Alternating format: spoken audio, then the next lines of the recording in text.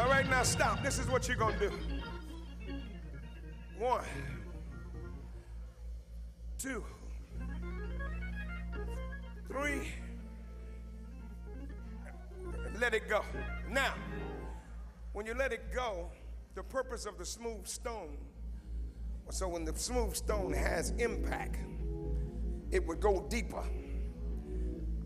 The stone was not designed to kill, the stone was designed to take you out of the game. So when the stone hit, Goliath fell back.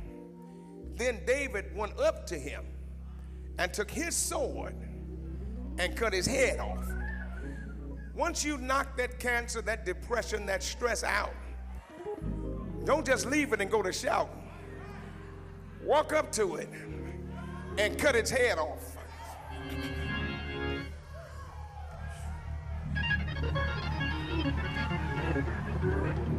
When you cut the head off, hold your handkerchief, your Bible, whatever you got, hold it up, signifying it's over. Then you're going to shout, It's over.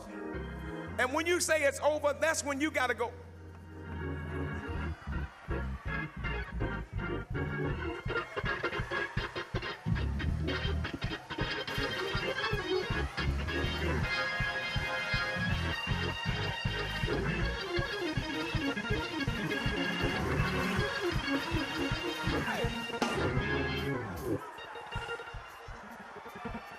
Can't be playing with the devil.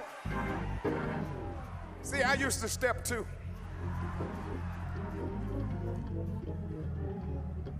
You got to praise God like you done lost your mind. What you do tonight signifies what you're going to do for the rest of the year. Get it in your hand. Let's go. Now give yourself some room, cause you got to walk up and you got to cut the head of depression off. You got to cut the head of stress off. You got to cut the head of doubt off. You got to cut the head of hindrance in your ministry off. Cut it off. Ah! Here we go. One time. Woo, look at that. See, your strength is coming. Didn't you feel some strength coming that arm? Look out, devil. Do it this second. Come on. Look at that power. Here come that power. Here come that power. Third time. Come on. Now let it go. He fell. Now walk up and cut his head off. Hold his head up. Go to giving God praise for your victory.